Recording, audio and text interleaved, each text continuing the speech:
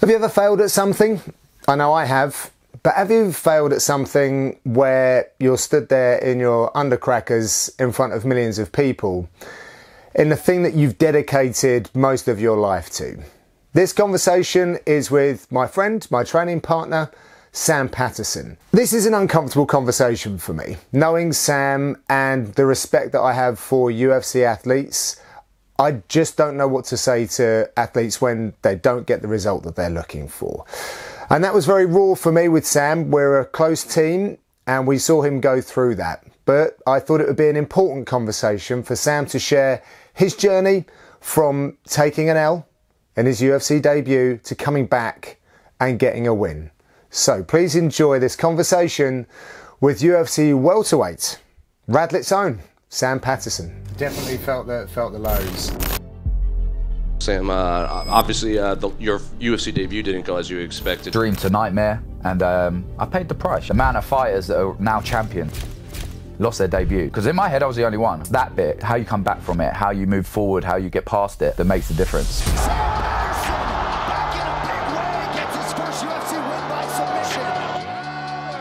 I went out to Thailand, trained a couple of weeks, felt real sick. I walk up the stairs, I'd be gassed, and that's not me. So I knew something was really wrong. I had to sit down. I couldn't like do anything. I couldn't like get my body to work. And then obviously I went to the hospital. I had all kind of having to have heart tests and stuff like that. And that was the turning point.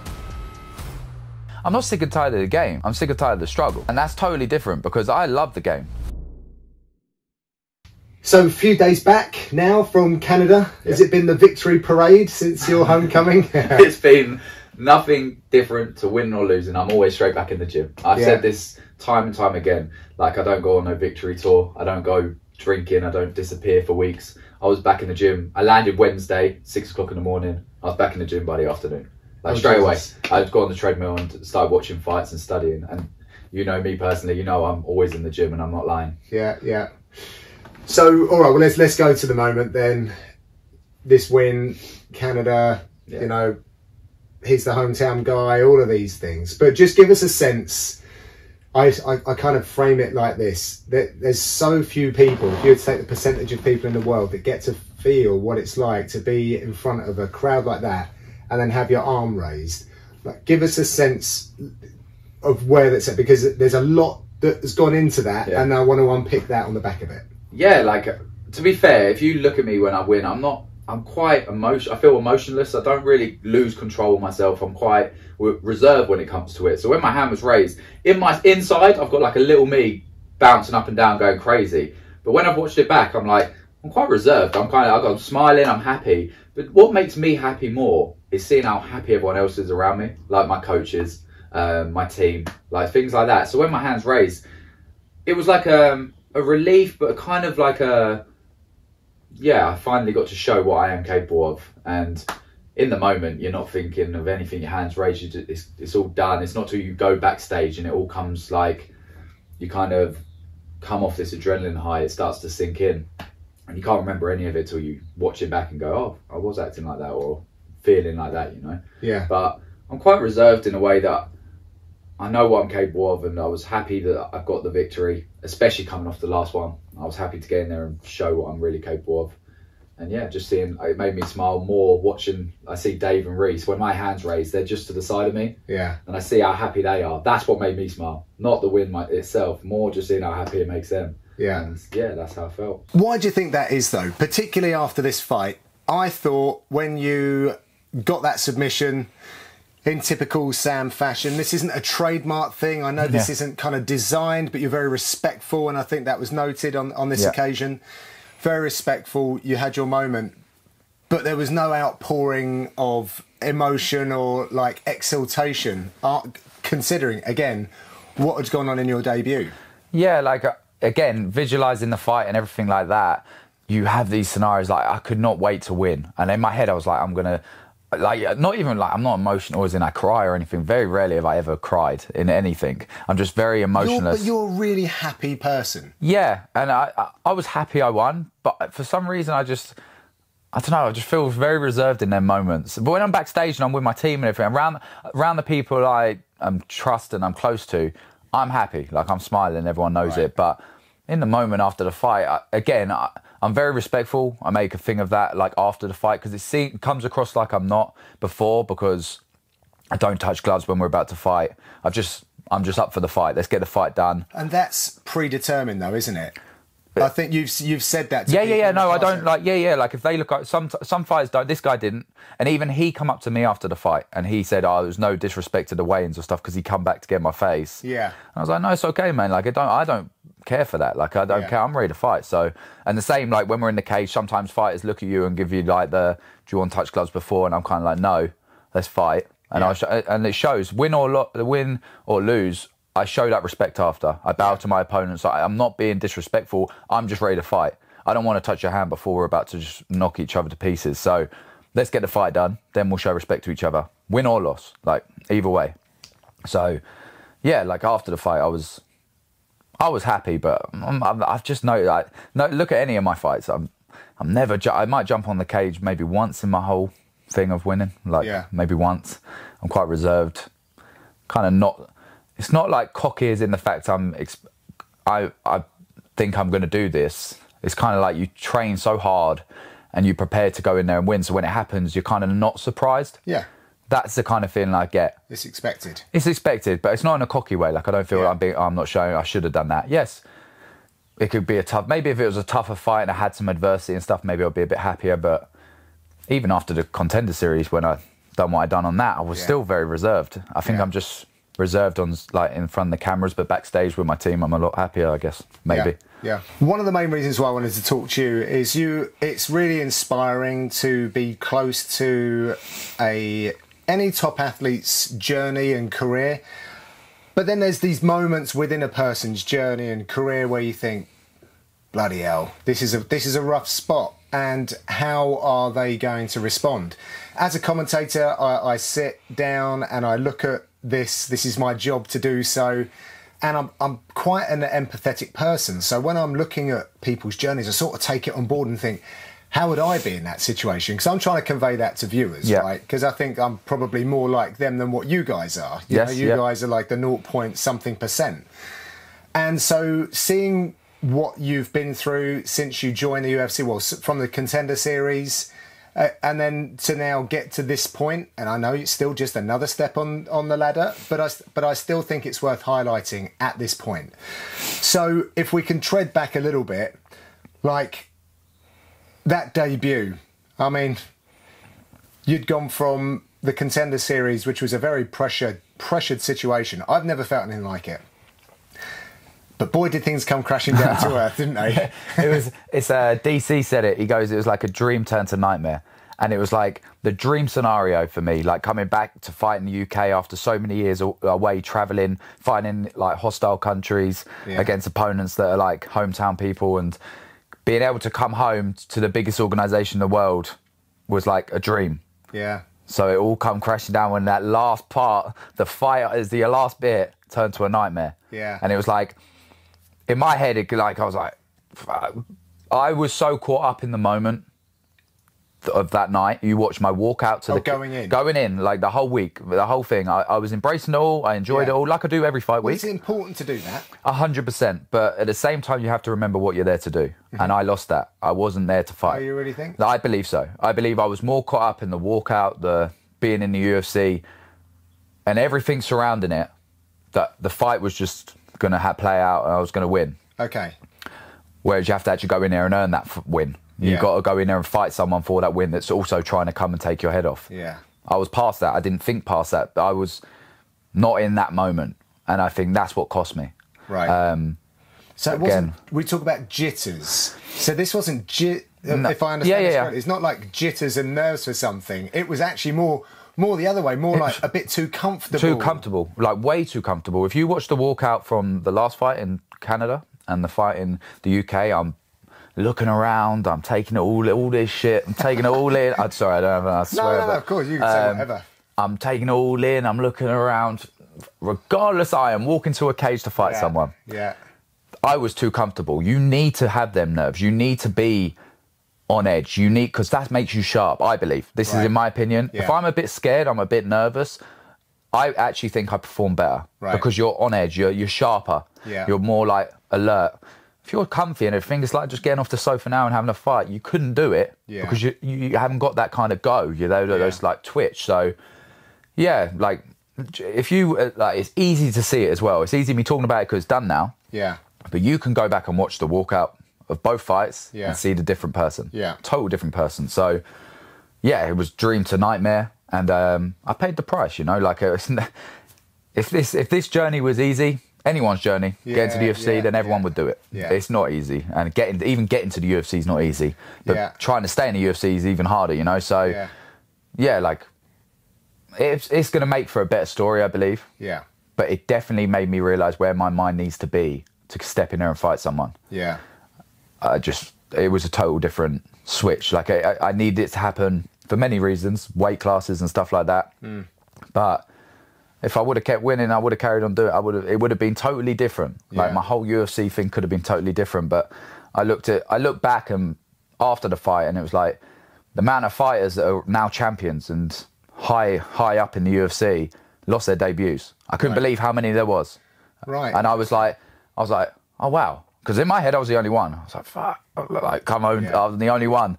Um, but when you look back, you're like, no, some guys, it's it's that bit, how you come back from it, how you move forward, how you get past it, that makes the difference. And yeah, now I'm on a win. Everyone's like, I'm riding high. yeah. But I know what it's like to be at the highest Yeah. highs and lowest lows. Yeah. So it's about keeping that hunger. You definitely felt the felt the lows. Ah, yeah. What what was? Can you describe in like in relative Sam terms when you had that you had the moment by yourself when all the team's gone or whoever it was and you sat down with it. Where were you at? Down, pretty down. Yeah, yeah, it weren't nice. Uh, again, I was coming off an eight-fight win streak. I was like riding high for so long. It was more again the same when I win and am I a team and everyone's so happy. It was probably harder for me seeing how down and everyone was so concerned for me. Right. Same thing for me. I'm I'm very like cool with myself, like cool with myself in my mindset and how I how driven I am and stuff like that. I don't need no one to tell me I'm great or I'm shit. I don't need it. So it hurts me more seeing like after that loss because going into that fight, I had my family around. I had like Yeah, the whole team. My mum was there. My whole team your mum on the on the Friday. all yeah. that all that was again it was like wrong in a way like in my head because i hadn't been used to that i was traveling away having no family it was just you're there to fight it's business i wasn't going on holidays i was going to fight someone so i was switched on coming home i was like rolling out of bed you know like just traveling up there just pottering around the ufc wow this is amazing kind of losing the like sight of what i had to do at the end of the week um, but yeah that hurt me more after the fight is seeing how upset and concerned everyone was for me that hurt. But at the same time, it also helped because it made him realise that I'm not invincible and that I can be. No one cared about the last eight opponents. Everyone was just, like in my like around my circle. Everyone was just so happy to see me win. No one was concerned how No they went home. towards those. No one guys. cared because I was winning. Yeah. So now I was on the other end of it. It made them kind of wake up and realise like you can win, you can lose, like you can be on the other end of it, you know. And Yeah. going into this one, I could see that in everyone around me. The concern was real again, but that also is a good thing in a way because it keeps you human, it keeps you real, and realise what you are going in there to do. Mm. And that kind of keeps you alert, keeps you again. As much as I'm switched on, everyone around me is kind of like realises there's a job to do at the end of this. It's not just all living the high life, you know. Yeah, yeah. Well, you said that the concern from people around you, because that's a difficult thing, I believe, for partners of fighters. Um, I know that you live, you still live with your folks, and, uh, and I'm going to get onto that because you have like a little master plan. There's clearly a lot of sacrifice, but how do they behave? Like I, I, I've, I remember, I've only done a few little bits and pieces, and and uh, my wife at a grappling event. So God forbid she did see me do like boxing or MMA. She went white. Yeah. And I'm looking at her just before I step on the mat and go, what are you worried about? And this is just a grappling Yeah, contest. So how were how were you managing the reactions of other people? Because well, you, you you've got no say in it, but people are probably putting certain emotions onto you which might not be healthy Yeah. in your preparation. Yeah, no, hundred percent, and you kind of disconnect from it. Like my parents are very good. Like they've seen the whole journey. They've seen I had my ups and downs. It's like a roller coaster of emotions throughout fight camp before even fight week. like you, you have a good day, you have a bad day, you're hungry one day, you're, you're full of food. You know what I mean? Everything goes ups and downs. My parents know me very well. If I need to be left alone, just leave me alone. Like that took time. Don't get me wrong. It weren't always like that. It was tough. Um, snapping at my parents, stuff like that. For like when I'm in a bad mood and they're they've got nothing. It's like little things like that you don't realise play a factor, but they've got to know over the years when to like. Same with my missus, same with my partner. She knows just let me fo- like when to leave me alone, when to like let me focus. Um, when I'm good, I'm good, and that's part of the journey. Like it's not all they're in it with you, you know. You, I'm the one fighting, but the sacrifice others make around me, my team, everyone around that, they're a part of it the whole way through. So they suffer the same as I do, but in a different way, probably more emotionally. Right. And my mum, leading up to this one, you could see that like total different energy from my mum, my dad, my partner, everyone. Yeah. The the little, are you okay? How's tra-? like a bit more concern. Yeah. Whereas before it was kind of like, oh yeah, how was training? Oh, you good? Yeah, yeah. Because I've been winning. Yeah. They they just think I'm going to go in there and smoke this fool. Yeah, Like yeah. they don't realise they understand the work that I put in. Of course, they see how I'm out three times a day, just in and out, come sleep, go back out. But you could see the energy change and made him more real and more human. And I kind of, it's good for, like I said before, it's good for them to know that. And again, my team and everyone like that, it got to a point where they thought kind of, I don't know that they thought I was invincible because you're fighting, I understand that, but I just, winning was normal. I was on an eight fight win streak. It's like, oh, Sam's fighting, he's going to go and win. Yeah. Of course, they still think like that now, Yeah. but they know the con- the risk that I have stepping in there as well. So, yeah, it's, they understand, but I'm get I'm getting better as well. Before I'd be very dis- like disconnected from anything else apart from I'd be so tunnel vision. Yeah. But now I know when to switch it on and switch it off. Yeah. which is very good. It's important to have a bit. I think that comes with maturity and age as well. Where I was younger, I didn't care for anything or anyone. I was Yeah. so tunnel vision on my goal, and my dream. But as you get older, you realise you lose friends, you lose. Obviously, you also learn who's with you for the right reasons, yeah. who's not. But at the same time, you can push family and stuff like that away from you because you're so tunnel vision. Yeah. Instead of just being a bit more considerate. And over the years, I've got better at that. My missus will tell you, she's been with me since I was my first pro fight. Yeah. And uh, yeah, she stuck by me the whole time, but at the same time, she's seen the the bad side of things, and also now she like thinks it's a total different person how I act throughout a training camp and into Yeah. the fight. So it's pretty amazing. Yeah, no, you, you have got a good support system there, and uh, but I think it goes for anyone that's got like a like lofty goals. Just so you know, you're not alone, and it's pretty normal. Like I go, I suffer. I've been very guilty of compartmentalizing Yes, a lot of stuff, yeah. and like I'm not doing this. If I've got this this gig coming up, then nothing else matters. Yeah. But it sounds like heroic to do things like that, but actually, the human condition is Yeah. a little different. You need a, you need a few ingredients of a few different things. Yeah. So I, th- I think you're right to learn that. But when you're young, like, and you haven't got all the Yeah. stuff going on around, Yeah. then it's easy to do that, and, and no one can be blamed for it. Exactly. I've, you've, we've spoken about the ones that truly matter, like those around you and your support system.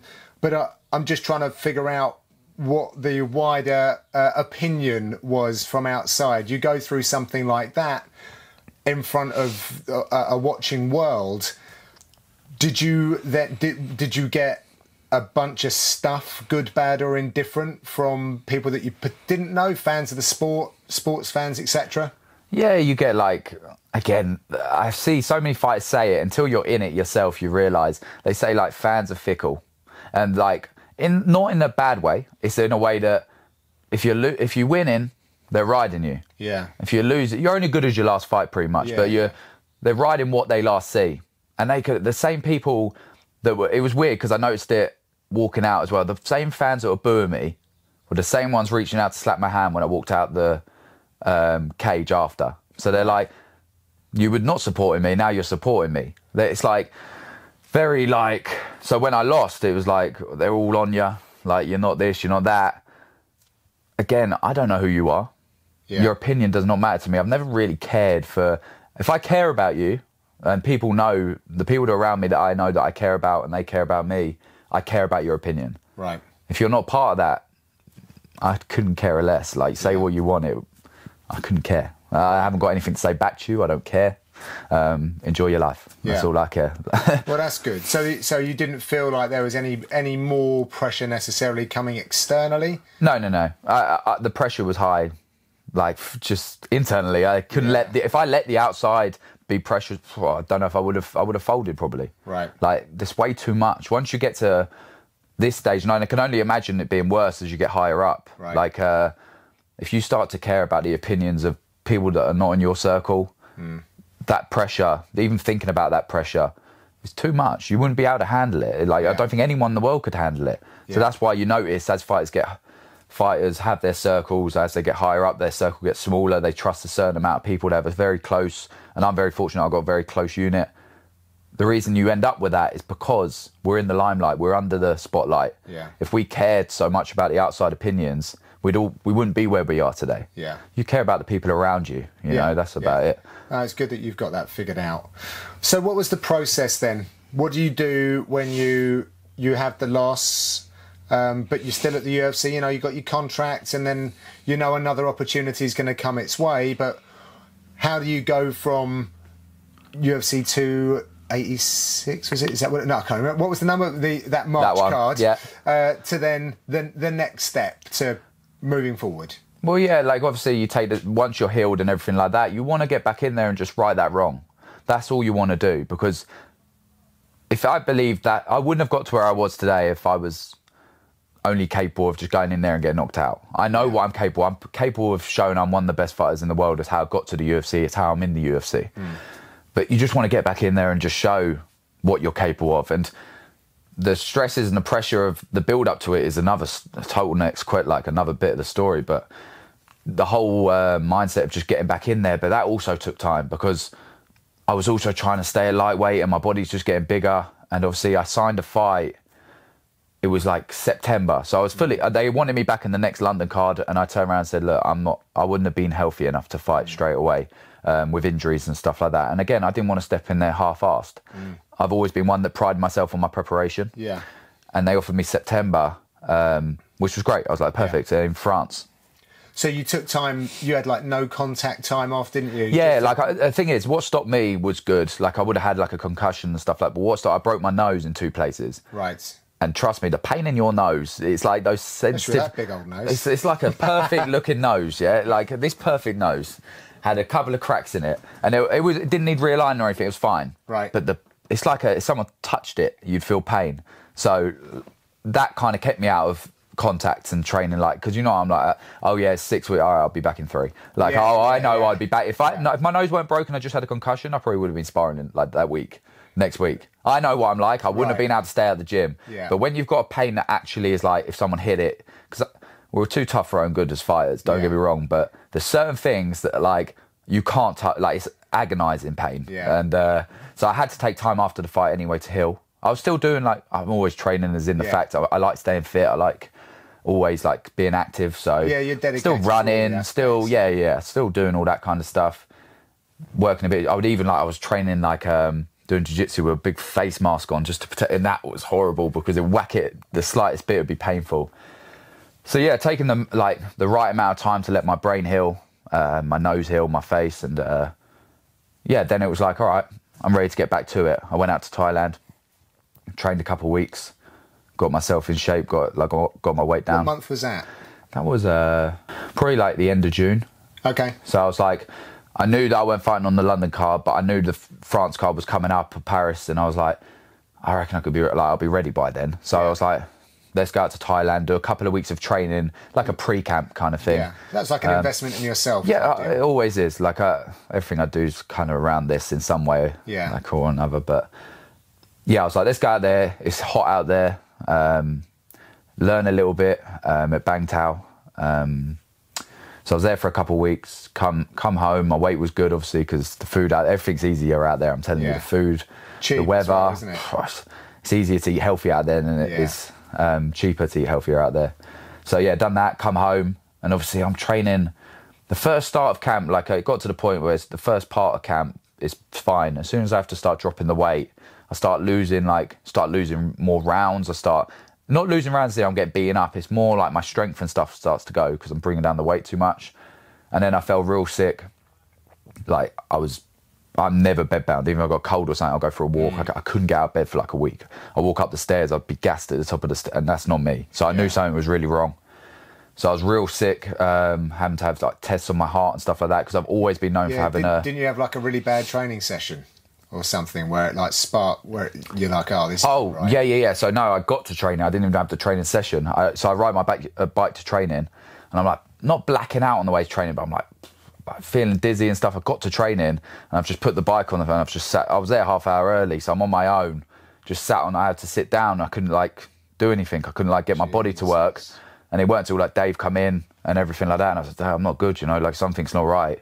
Like, I could barely get up. Like I was like every time I stood up tall, I'd get lightheaded. Like I'm gonna pass out. I had bread. I've eaten and everything, but Right. and then obviously I went to the hospital. I had all kind of having to have heart tests and stuff like that because I've always had a heart low heart rate, like really Yeah, low. yours is- like was it 28? I've hit it once? 29, 29, I hit.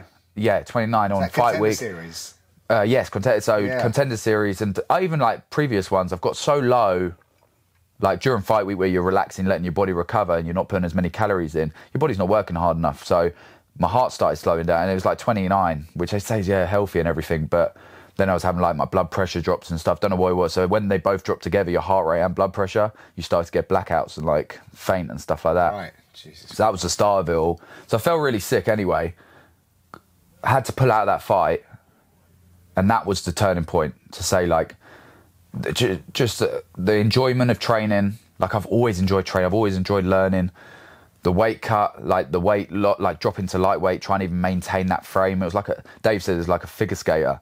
Like I'd be doing like a marathon a week, running, cycling, swimming, on top of training Your twice a day. numbers were like comparable to a amateur triathlete. but it's crazy. on top of training uh, Yes. in the sport we're doing, which is it's too much. I've realised as I've got older, it's all good when you're 21 and your body recovers and everything like that. Even then, it's a lot of training, and we all we're all like every fighter and stuff are all like trying to they end up overtraining and stuff like that. Cause we're all trying to push our bodies, but I was doing it to an extreme level, like injuries and stuff that I'd pick up as I got lighter were just stupid. And it got to the point I was falling out of love with the sport because of the diet. As soon as I signed a fight, it weren't the fight I was bothered about. I was like, yeah, I get to fight.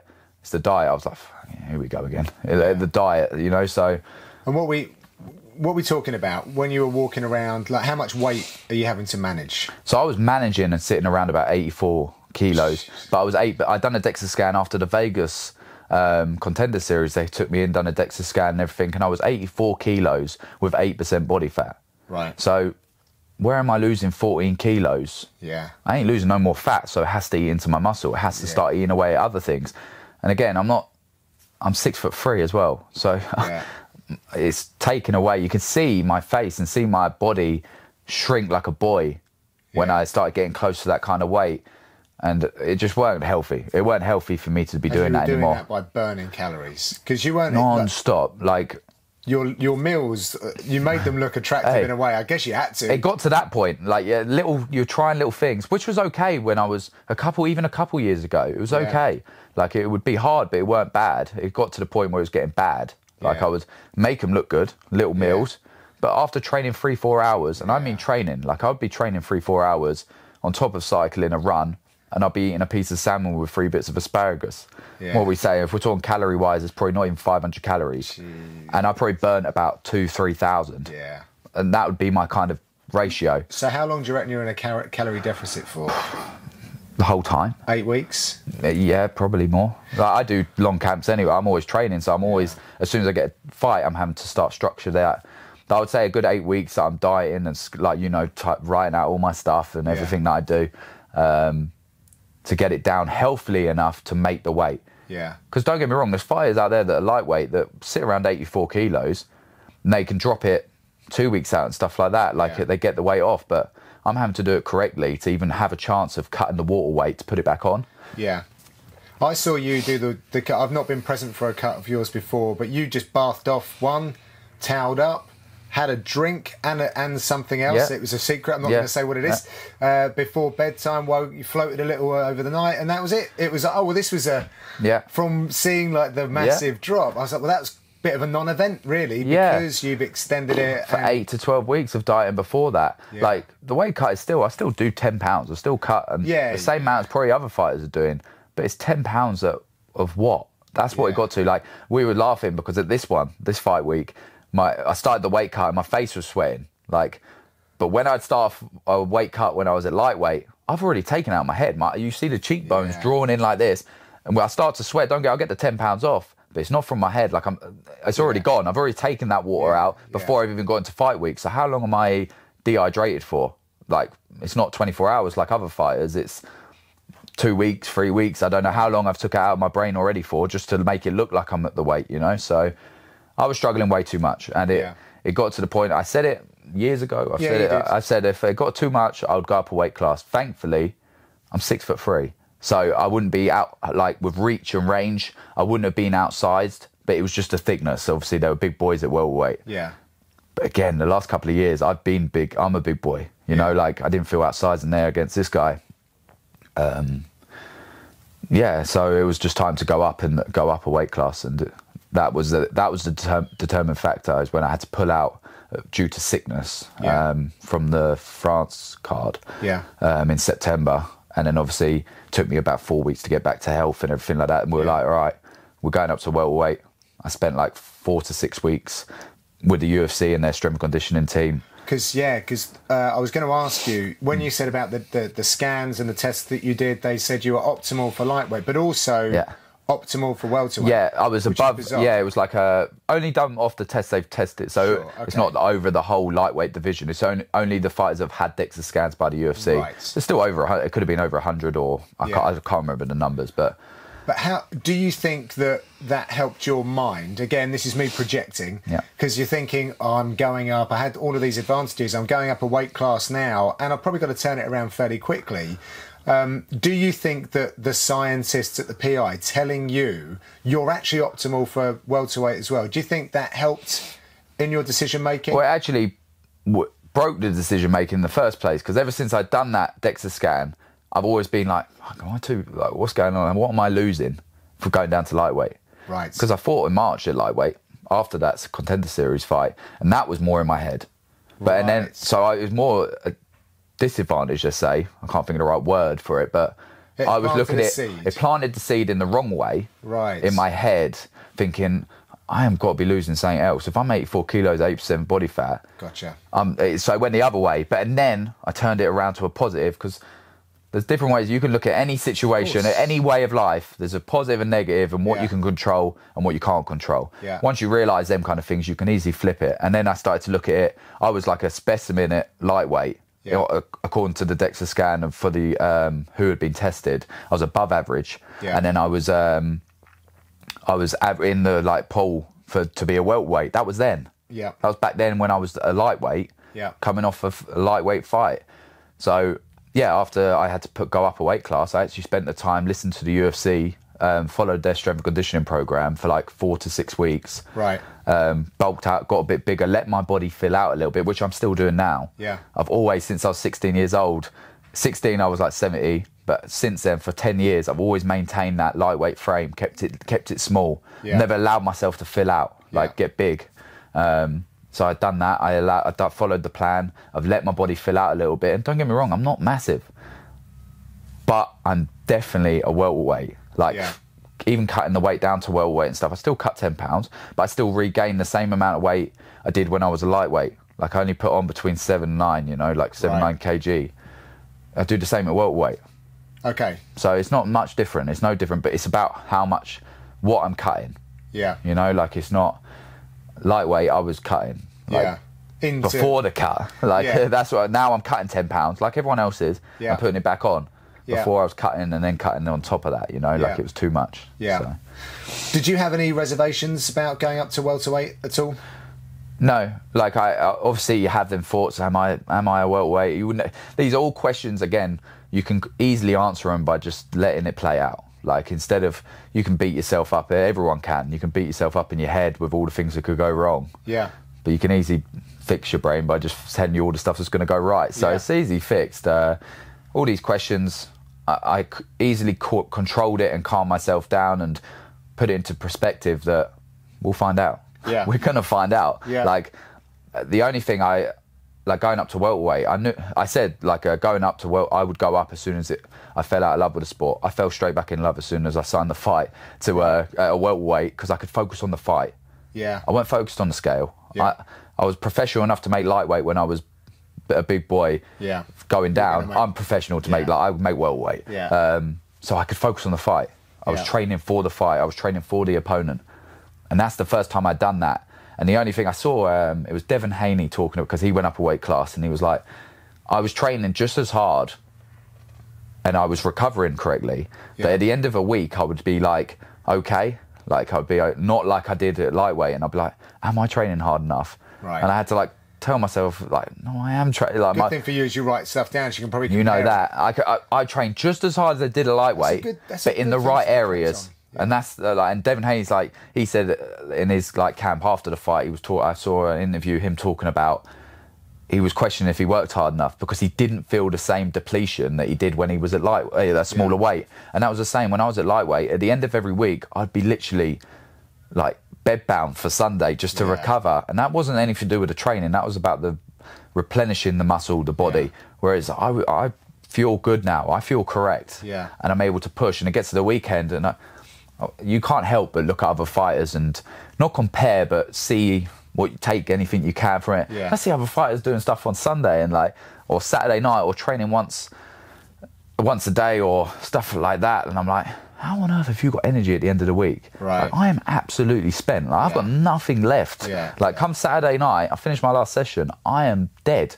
Yeah. Like, how are you doing it? And now I'm like at welterweight. This camp, I'm like, come on, let's Yeah, go. Like yeah, yeah, yeah. Monday, I, I love Mondays anyway, but Sunday I'm with my missus, I'm chilling, I'm, I'm buzzing. You know, like, I've got Yeah. so much energy. I feel like a kid again. Yeah. I know I'm still young, but I feel even like like a 21 year old. You know, it's crazy.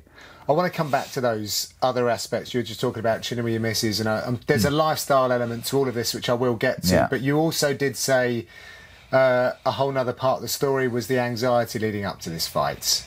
Yeah. What? Uh, g- give us a sense of what that looked like.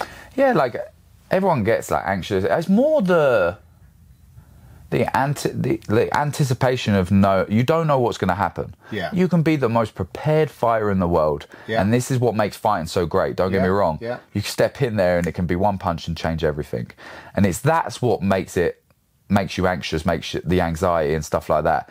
I don't suffer with any anxiety kind of everyone has gets anxious and everyone Yeah, and I don't good- have it's good to- anxiety it's good to get the nerves. And yeah, no, and I. I have always like that's why someone uh, someone spoke to me before the fight.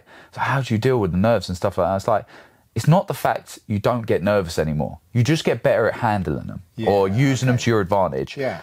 I'm more scared if I ain't nervous and I'm not anxious and I'm not on edge because you don't say you don't fire the same. You don't. You're not alert. You know, like Yeah. you're not on the on your like on your game. So the anxiety and stuff like coming off a loss is a lot more. Like because you're like, oh god, if it's a, a lot more negatives come from it because you're thinking all the things that could go wrong. Yeah. Like if you win, you lose. You win, you can. You, How, how did you stop that sort of those thoughts cascading? So well, you that just ca- hard work. I'm not going to lie. I, I pride myself on hard work, but that also helps. If I'm prepared to the best I possibly can, and I know I'm putting it all in, Yeah. the outcome's going to be what it is. Yeah. I'm going to go out there, put my best foot forward, and if I know I put my best foot forward, it is what it is. You know what I mean? Again, maybe if I would have lost that fight, it would have been, am I UFC level? Then it would have been more doubts. But Yeah. again, I control things. I, I say to myself, uh, the main thing I say is control what you can control. Mm-hmm. If it's not in your control, why are you wasting the energy, precious energy that you could be putting in something else Yeah. on that? You know, so the negative thoughts and stuff like that, you just counter it with some good stuff. Yeah. Like, there's enough good and just, just work hard. If I, I always feel like I could have a bad thought or a bad day, but if I'm working hard, it soon goes away. Yeah. Like if I get a run in or I push my body to the limit, I'm so thinking about like the body getting pushed to the limit. I ain't thinking about them thoughts anymore, and Yeah. they pass, and then you go forward. You know, Yeah. so yeah, I, I don't think obviously it's more when you lose, but everyone has doubts. Everyone has like good days, bad days, but main thing is you just keep going. You know, Yeah, just yeah. don't stop and 100%. or let them take over. Because what if you gain from letting them take over? Mm. Nothing. You just now you're you're not challenging yourself. You're not pushing yourself. You're not stepping out that box you're in Mm. because you're scared of what's outside of it. But once you do it, even if it, if you, even if you step out and it's you- like I said, if I would have went out there and lost, at least I went out and done it. Like at least I tried. You know, like. uh me sitting at home, do, like I remember Tom Aspinall saying he's never going to win the title by sitting on his couch, so he accepted the fight on short notice. And that's what I mean. He could have been on his couch watching that fight. He ain't gained nothing from it, has he? But he took the risk, and look how he paid off. Now he's champion of the world. So those kind of thoughts, I guarantee, every fighter's having them. Hmm. You just get better at controlling them. That's all it is. Let's see what's possible. That's kind of That's pretty much it because nothing's possible if you do nothing. Yeah, That's guaranteed. Yeah. But you don't know what's possible if you do just try. Yeah. So, and I just think as you, the better fighters, the the higher end fighters, or anyone in life, the the more you do it, the better you get at controlling it. Yeah. That's all it is. Uh, Like you see amateurs, how nervous they are and stuff, and they're like, "How do you, do you not get nervous?" Like, no, I do. Yeah. I feel the same as my first fight. Pro- I've just got better at controlling them. That's Yeah. all it is. yeah. And if they weren't there, I'd be more scared. Was there a was there any big reconfiguration or a big change that you took into this fight from your last or last previous? Um, I would say the mindset of I, I knew what I need. I've fought a lot of times now. I was just focused on the task at hand, and that's what I could like. You see me walking. I didn't care about the crowd. I could have been fighting that guy in the car park. I could not care. I know I can fight. I'm good at fighting. I wouldn't Yeah. have got to here if I wasn't. But I was focused on that. Yeah. Nothing else mattered to me. Nothing. After I took it all in, I took in the crowd. I took in everything after the job was done. And that will be my mindset going forward um, with every fight. Yeah. And again, even like the mindset of sleeping on a win, you wake up with a loss. I, I ain't sleeping on no win. I'm, I was back in the gym as if I lost that fight. And that's why I'll have that mindset. I had that mindset before. Don't get me wrong, I didn't lose that. Even like the eight fight win streak, I'd be back in the gym straight away mm. as if I lost. So it's no different now. I just I just got the win. Do you feel like you got you got better with everything that you've just described to us? Weight, illness, blah blah blah. Do you feel like you still managed to get better going into that last fight? Yeah, I'm always. I feel like I get better every single fight because I've got that mindset. I think it's a mindset. You can easily stop listening to people around you and stuff like that, but I listen, and I've always got a growth mindset. I'm always in the gym, not just in the gym to be in the gym. I'm in there because I want to get better in all aspects, even to the point I want to improve outside the gym. But I do believe inside the gym, I am there to learn and get better. And uh, yeah, I, I went to Thailand. I, I was traveling up to Birmingham um, to Renegade and getting Yeah. sparring rounds in there, all learning. Yeah. Like I work. MVP coming down. MVP They come down. that on the commentary. I know they, they milked that. Well, they cha- but the thing is, they cha- they changed it. I, I, what I said, I got a sparring session in with MVP, and I picked up great knowledge. I don't know how they worded it on the thing, but it made it sound like I've been training him for like the whole camp. Yeah. I only trained once with him, but that one session was valuable to me, you know, and I made that I made that clear in the post fight interview and to the commentary team before. Yeah. Like just that one session was like a good amount, you know. I already Yeah. took so much from him, and I, that's my mindset. Like Yeah. he could, people beat me up. People beat me up every day, like in the gym and stuff like that. But if I take something from him, I'm learning. Who's really winning, you Yeah. know? So, and if I can go out there and perform when it matters, Yeah. I believe I'm the one winning. Yeah. You you did say you were sick and tired of a few things in your in the post fight media scrum. And I think that's it. We can like take that as lightly as it is, but from someone that's sort of seen your journey and seen where you're at now, like I was like, oh bloody hell, man, that's uh, like because if this didn't go the right way, this is rough, isn't it? Yeah. So can you talk about the g- where where you felt because it you were saying it with a smile on your well it was kind of with a smile on your face through victory but I'm sure that you are pretty sick and tired of all of this because this is a fucking hard game. Yeah, no, no, no. I It's hard don't to know. if- recommend this sport to people from your to like to Yeah. be a fighter. yeah, no, no, no. Like I wouldn't say I'm not sick and tired of the game. I'm sick and tired of the struggle. Yeah, yes, so, And that's totally different because I love the game. And I think Yeah. if I worked full time job, I would still find time to train. yeah, I am sick of struggling. Yeah, I should I, I, wrong. yeah, yeah, no, no, no. That's that's, and maybe I didn't word it right in the interview, but I'm pretty sure the guy asked me, and what made me smile was the fact he assumed I already had a car, had a house, Yeah. and I just wanted bigger. Yeah. I haven't got shit. Well, this again, so, yeah, and this is um, And that's what this when I say struggle. If you put if I put the hours in the same hours I put into this, yeah, into a, a, a normal job or anything, I'd probably be a manager earning a good amount of wage, probably. Maybe I don't know. I, I don't know. That's why I've chose this path. I'd, I'd have thought so. But I'm ready for it to pay off. You know, like I, I'm, I'm, I'm very. It's not even like I'm stupid with money. I'm very smart with Yeah. my money and my how I live and Yeah. everything. I get my stuff in order. I'm not stupid because you could be making millions, and if you're wasting it, then you could still be You only struggling. four. You only got half a paycheck last year. Yes, and I made that last I had to borrow money um, to get through to this one, mainly to pay for the medicals and stuff like that to fight in uh, Toronto again. Um, and that's what I'm done with. You know, like I made that money stretch, and I went Yeah. to Thailand. Yeah. Like I, I and I was traveling up to Birmingham every week, and Yeah. I got the like I said, I got a good support system around me. But I have never been one for asking for money or No, can't. uh, um, like, oh, can I borrow this or borrow that? Yeah. And the people around me offer it because they see how hard I work. It's not I'm sat on the couch asking for money so I can sit here all day. I'm putting my I'm busting my balls every day. So One they're happy to help, ever. But I don't like to ask. Yeah. I, I, I like to. I'll figure it out. It's okay. I'll figure it out and get through it. So I made that money stretch, but I'm done with that. I'm done Yeah. with the struggle of life, like struggling, like living fight to fight and just yeah, just struggling in that it- way. Would it be fair to say that you're sort of putting your life, you have been putting life on hold uh, to pursue this dream? Yeah, I, I, I've thought of nothing else. The people around me know I've thought of nothing else. But I'm also now at the point I want to progress my life with this dream. Yeah. it's kind of changed Yeah, now. yeah, yeah. The dream was all that mattered. Yeah. Um, and as you get older, you realise you can't just. I don't want to live at home anymore. I don't like. I've got the support system, but I need to. I'm going to move out with my partner as well, and they ain't free. None of that's free. So you have to have an income. You've got to bring that money in, you know. And I have a great opportunity in the UFC. The money you can earn in the UFC is absolutely amazing. Yeah. If you'd have fought three times, three wins, it's Uh, this uh, would be a total different story. Yeah, you know yeah, what I mean? yeah. I could be a total different place this year. Yeah. But I'm not. I'm in the same place I was before the UFC, struggling. Right. So now this is the year. I went up to the commentary after and said, "This is the year I changed my life." And when I say that, that is the the guy that asked me after the interview. That is me getting a car.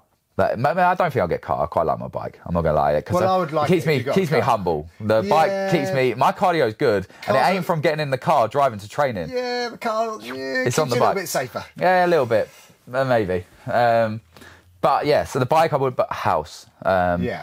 I want to start changing things. I want to secure. Like, I'm very fortunate. No one depends on me. My partner, and everything. She's got a great business. Everything is very. Everyone's got their. They're not relying on me to make Yeah, a pay. Like, I haven't yeah. got children at the moment and stuff. So I'm Yeah. not. No one's relying on me. Yeah. I'm relying on me, and. I want to change it. So Yeah. that's what I meant when I say it. I'm not struggling as in with the sport. I I, I will struggle every day. Don't Yeah, I'll put you more. enjoy that struggle. I, I love that, that struggle. yeah. but the financial side, they say, Yeah. that's what I'm done struggling with. Yeah, yeah, I bet. I have to say, I I have to credit you with when I do turn up to the gym. Um, Very often. you, uh, you, uh, yeah, clearly not. um, of all the people that I train with, like you look like you're having the most fun. You're always there. You're such a great role model for anyone that wants to achieve anything, but particularly like when you're in that on the mat and you want to. We can all just tell and say to the youngsters, you want to do well. And I've actually, you know, had some nice conversations with a few of the youngsters recently. I said, well, you know what's easy? Just just follow that guy. yeah. yeah. And uh, and we've got there's some, a nice group of lads, but some of them are a bit miserable. And I think you you poke out in the sense that you've never been vocal about those other things. You've always been very positive and happy. But I just want you to know that it's not lost on probably quite a lot of us that you know there's maybe some brave facing that's going on. But uh, but you do have the opportunity now, and I think we're all very very happy that you now. Uh, and that's why I think I can say that now. Because I've got to the point where it's an opportunity. Yeah. Like, I'm not looking for a handout. I'm not looking to be given Oh, anything. no, no, no. And that's why. all those sponsors are great. Oh, because don't, oh, come on this journey. don't get wrong. Things can, yeah, yeah, exactly that. I'm happy to take um, like sponsorship and stuff like that and come on the journey with me. But my point of it was like before the UFC, it was the whole point of getting to the UFC. But now I'm in the UFC, I can change. uh, My hard work can change my life. Yeah. And I'm not, sh- I'm not shying away from hard work. I am Yeah. willing to put the work Yeah, in, yeah. But it can pay off now. Yeah. You know what I mean? Before it's like you're getting just, just, it's just enough to get through to the next fight, and you, you're Yeah. building up to get to where you want to be. But you like everyone knows it pays well. It looks after their fighters and stuff like that. If you are out there putting the work in and showing up, Yeah. that's what I'm not ashamed. Like I'm not like shy of doing. You No, know, like hard work. Now it's just going to pay off. And yeah, to young fighters, man, train hard. There's no secret. Yeah. But again, I don't want them thinking I had like a. I was gifted that I, didn't have to go to work when I was younger and earn like pay my rent to my parents. I weren't just living for free. I had to work a full time job. I was working seven days a week, but I found the time to train. Yeah. And paying and making excuses and saying it's because you don't want it. If you Yeah. really want it, you'll find the time. I was Yeah. working all night. I'd work all night and then train all day Yeah. as you know, I'd work in a club all weekend. I'd do all sorts of work because I had still had, and that's thanks to my parents. The the grind I've got now is thanks to them. Yeah. Because they didn't let me since I turned 16, or even before that. If I wanted money, I had to go out and earn it. Yeah. I'd go wash cars. I'd go. I've always been earn my money. Yeah. And when you're younger, you hate that because you're like, oh, you're not giving me money for sweets. But Yeah. there's a reason, and it's paid off because that grind in my training, my grind, the hard work I put in is because of that. When I was younger, I always had to pay rent. I always had to pay my way. I was never gifted anything, and now I've still got that mindset. And in Yeah. my tra- it's easy, like you said, the sport is brutal, and training, and it can get a lot. Yeah. And you can, it's easy to go, "Oh, I can't train today. I'm tired, I'm- or work in the morning. If you really want it, it'll pay off. And you know, to young fighters, if you really want it, and you've got to really want it, because you will be tested, and it is hard.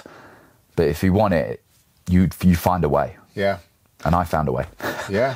No, it's, uh, it's it's it's great to watch, mate. Um, so what's the plan now? We're sitting just before February. Yeah, I spoke to my management uh, yesterday, maybe the day before. They're going to reach out to the UFC. I'm healthy, you know. I thankfully no serious injuries. Um, a couple of niggles that I was dealing with before the fight that are just getting fixed up, which are nothing major.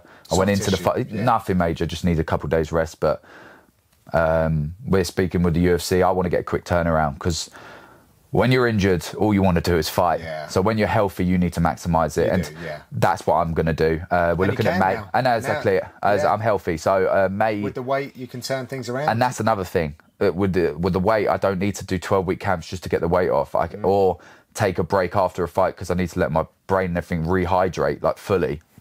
I'm healthy. I'm a healthy professional athlete now, and I want a quick turnaround. So we're looking at May. Um, anytime in May, the, my management will speak with the UFC, Yeah. see what's available. What you want and what you get is two different things. yeah. Um, but coming off that, they saw, obviously, they know I'm injury free and I want to get back out there. So hopefully, I get something in May, get, like I said, a quick turnaround. And me wanting to change my life ain't going to be happening by sitting around waiting. You know, Yeah, I want to get out there and make it happen. So, yeah. Where you gonna Where you gonna do camps? Are you gonna go out to Thailand again? Yeah, I, I think. Uh, I think I might go up to Birmingham again. They've, Yeah. it's amazing up there. Yeah. I wish it was closer, um, but it's Yeah. not as far as going to Thailand. Yeah. So it's not too far. A great bunch of guys up there. You need a car. Hour and a half. I got my missus' car for There now. I, if I had, I ain't getting a car, John. I'm keeping the bike. I, my my partner is so nice that I get to use her car once a week when she doesn't use it to go to Birmingham and stuff. So Right. um, I would look to go there again if it's a quick turnaround. Uh, maybe go Thailand after to train. yeah. Um, but yeah, that's the plan. I think go up to Birmingham, travel around a little bit, pick up as much knowledge as I possibly can. and get people down into the gym as well. Yeah. Do you reckon MVP? Uh, will you be a part of his preparation? Um, I think I think MVP's coming in this week. Oh, I think yeah, yeah, yeah. I think he's coming in to get some work in this week. Oh, nice. Um, I think Dave was talking to his coach, so maybe Wednesday or something. If I can help in any way, obviously, I don't want to be sparring all year round. Yeah, uh, you know what I yeah, mean? I need to be smart, but there's still other things I can help with. Hopefully, Yeah, yeah. Uh, grappling and Yeah. stuff like that. So hopefully, he'll be in this week. I think um, if all goes to plan and he comes down, I'm always there. So Yeah. if I can help, I would love to help. He's got Kevin Holland coming up. It's a great fight. So Oh yeah. I guess you'd be quite a nice look, really, in a way. yeah, tall, rangy, but he, Yeah. um, MVP's MVP, man. I Yeah. don't think uh, he does what he does. It's it's incredible It's to a watch. very, very unique fight. Incredible yeah. to watch. I'm, I'm actually leaving, so I'm not going to be able to come down and Yeah, get uh, those little uh, pay per view Oh, training rounds that I can. Yeah, check if- I can help him in any way. Obviously, I'm taking Yeah. a couple of weeks off to sparring, but grappling, I can still grapple. I can still wall wrestle and still, hopefully. And again, it only helps me. Yeah. Learning from someone like that or anyone that comes in, I take what I can from them and Yeah, yeah, yeah. level up my game. No, it's really. I'm, I like operating at at this level now in the UFC because my time. Uh, uh, at, let's just say my time previously. There's been a lot of infighting, or there was in mixed martial art in Yeah. UK MMA. Yeah. I should say. So there wasn't a lot of match sharing, but it's really nice to see. Like when we used to go down to UCMMA as a team, London Shoot Fighters, they You'd be fighting one of them guys, yeah. yeah. And then you got Titan, and now Yeah. I'll go and see Brad and those guys, and you'll go up to to Birmingham. And, Yeah. No, it's great. Well, you, they're all working together now. I think it's got Yeah. to that point the UK are working together, and there's other organisations that are bringing in a lot of different fighters from different Sure. countries. So the UK aren't always fighting the UK anymore. Yeah. Even Cage Warriors do like Dublin, and they're going about a bit more. So before, like you said, it was literally UCMA. They didn't have international that many international. You Yeah. had to match the UK versus UK, so it was Yeah. rival teams. Whereas London shooting. The, the UK is just helping the UK now to take over the world, which is it's great to be a part of, and That's uh, good. I love it. Yeah, nice one. Thanks for sitting down today with us, Sam. Best of luck on the next steps. Thank you very much, mate.